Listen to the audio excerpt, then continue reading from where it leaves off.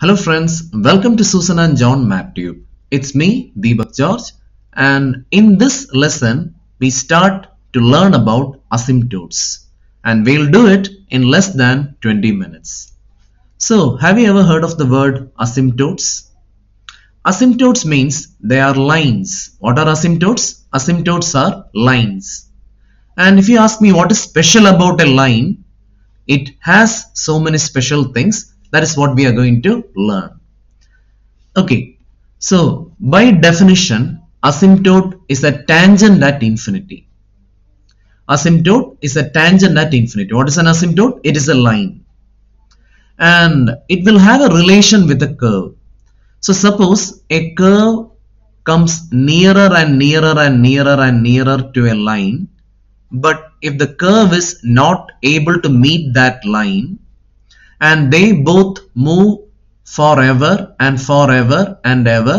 And the distance between the curve and the line becomes smaller and smaller and smaller. Then we call the line as an asymptote. Then remember that line will be called an asymptote. So I'll show you a graph. So look at this. This is the graph of 2 to the power x. And when you look at this if you look at the negative side you feel as if the graph has touched the line called x-axis? No. But can you see the distance between that graph and that x-axis is becoming smaller. I'll magnify and magnify. You might feel that they are touching but no, they cannot touch. Can you see? There is still a little bit gap. Now I'll keep on moving, keep on moving, keep on moving. Now you might feel they are touching. No, I'll magnify. No. So an asymptote is a line which meets the curve at infinity. But if someone tells you, okay, I'll meet you at infinity, then don't believe that person because that person is never going to meet you. So, asymptote is a line which will never ever meet the curve, but the distance between the curve and the line will be so small, we might feel that they're already touching. See? There are three types of asymptotes. How many types? Three types. One is the asymptotes parallel to the x-axis and they are called horizontal asymptote. And the second one, can you look at the graph of tan x? I'll plot the graph and show you. I'll type x is equal to pi by 2. So now look, can you see this line and the curve? I'll magnify this portion the distance between them becomes smaller and smaller and smaller and smaller and smaller and the line and the graph moves together together together but they are never ever going to meet. And this is called a vertical asymptote. What do you call this uh, asymptote? Vertical one. And there is another one they are called slant asymptotes. If you look at the most of the books they use the word slant asymptotes but in your books, I saw the word oblique asymptote. Both are correct. Anyway, how many types of asymptotes are there? Horizontal and vertical and slant asymptotes and you have to call them oblique asymptotes. That means asymptotes which are not parallel to the x-axis or the y-axis. Okay, anyway, in my videos, in my notes, I always use the letters HA, the abbreviations HAVAOA, but in examination, don't write such abbreviations. Always go for the full word so that everyone will understand clearly. Okay, now let's go for type 1. Look at this, in your syllabus, there are three types. One is rational function. If you look at any book, you'll see that first they will teach you rational functions. Then they will teach you algebraic functions or implicit function. And the third one will be polar functions. So you'd expect three types. Type 1 rational, type 2 uh, is algebraic and type 3 is polar. But when you look at the previous syllabus and if you look at the way they ask question, you'll see that every time they ask a question from algebraic, that means the implicit function. Now your syllabus has changed. Now they will ask 2 mark question as well as 4 mark question. Now this rational functions are going to be more important because they may ask a two mark question from rational function. Okay, anyway, rational function means you have you will have polynomial by polynomial. They won't put trigonometry or anything. We will have polynomial divided by polynomial and they are called rational function.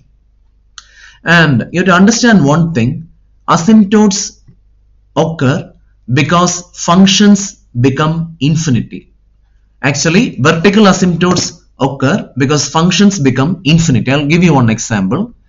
I'll type a rational function. Uh, I'll just make a function x plus 1 divided by um, x minus 1 uh, or let's make it more interesting let's make it like x square minus 3x plus 2 okay now look at this. So I created a function and I'm 100% aware this will have two vertical asymptotes. And I'm going to draw that. I just created a function and I know that it will have two vertical asymptotes. Because I can see that the denominator will become 0 when x equal to 1. Look at the denominator. I'm going to type that line x equal to 1. Can you see? And I'll show you that is an asymptote.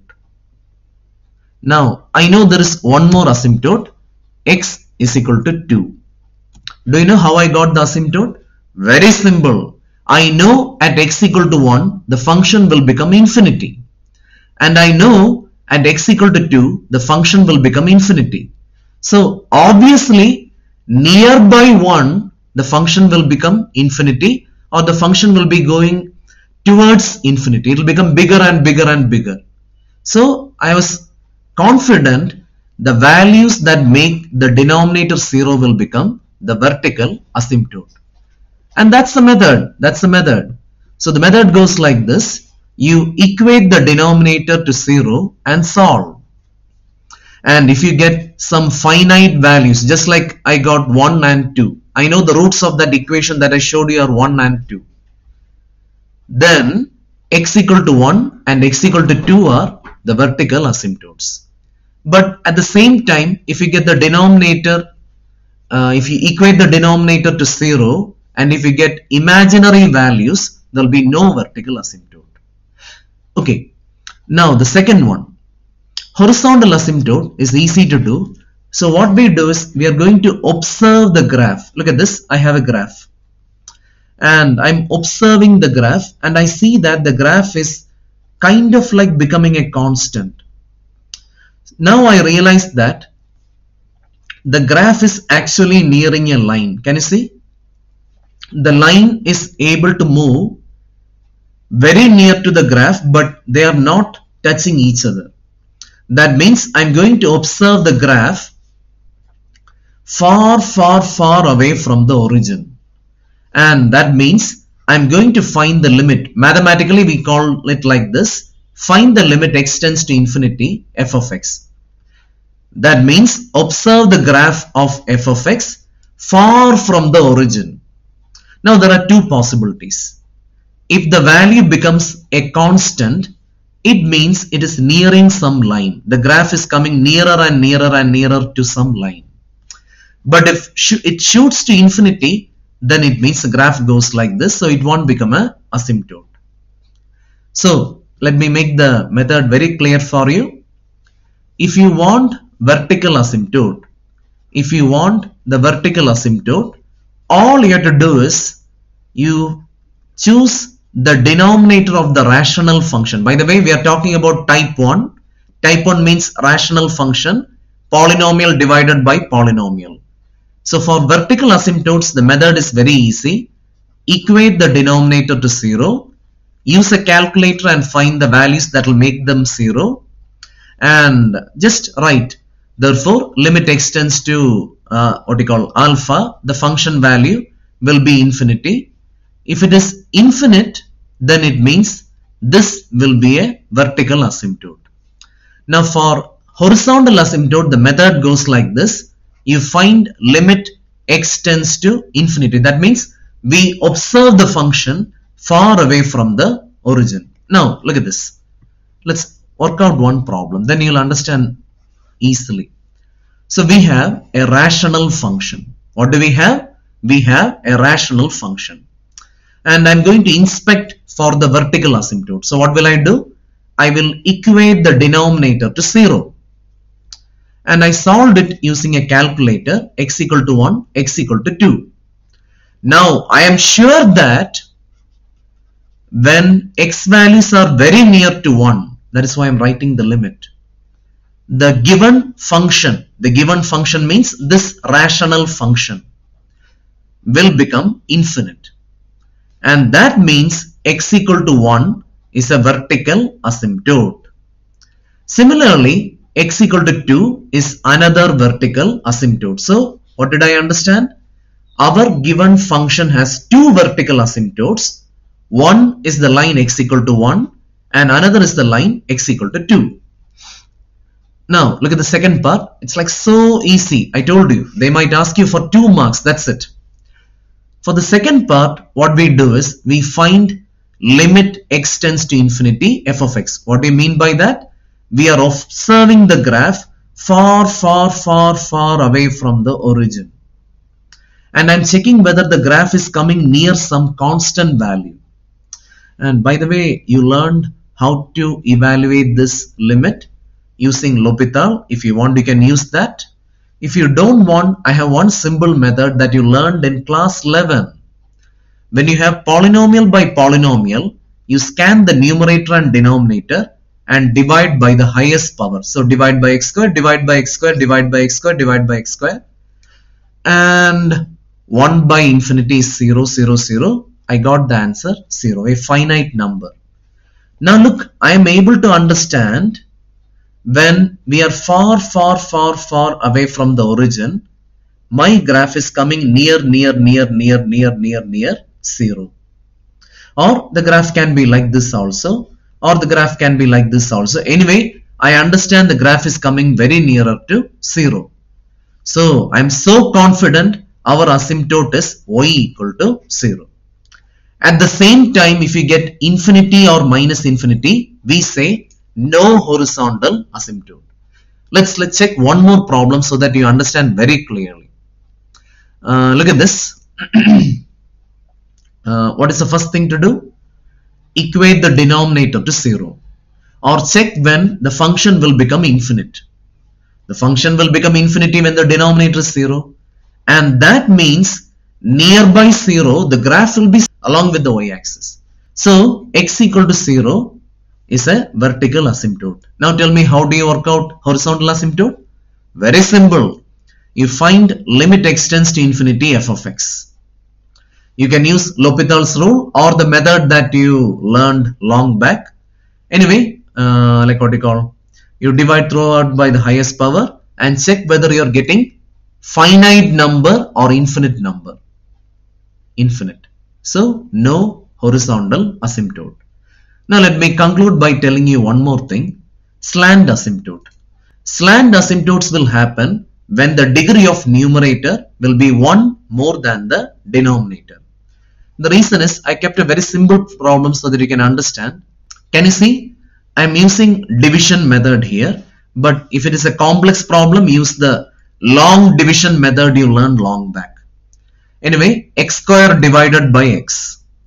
2x divided by x minus 1 divided by x. And look at this. This part looks like a linear. Can you see? So I can understand when we are at far, far, far away from the origin, this part will disappear because when x tends to infinity, this will become approximately 0 and our curve will be approximately be the line x plus 2. That means our curve will be nearer and nearer and nearer to the line x plus 2. So that's it. That will give you an oblique asymptote. So uh, work out more problems. I'll be back with more problems on rational function and we'll start with the next technique that is called asymptotes for the implicit function and that's more important because that will be giving you a 4 marks. You can support us by sharing our channel in your social media and you can support by joining our Viber group Anyway, I'll be back with another video very soon. So till then my friends, bye.